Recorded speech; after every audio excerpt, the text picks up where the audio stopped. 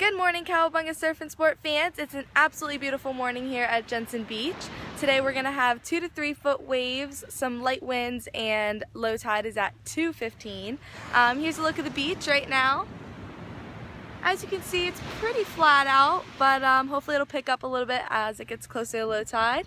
Um, in the shop, we have some great stuff going on. We added some, we're gonna be adding some um, really cute new rental bikes, which is really exciting. We're also gonna be getting um, a refill order on Cowabunga shirts if you've been missing your size.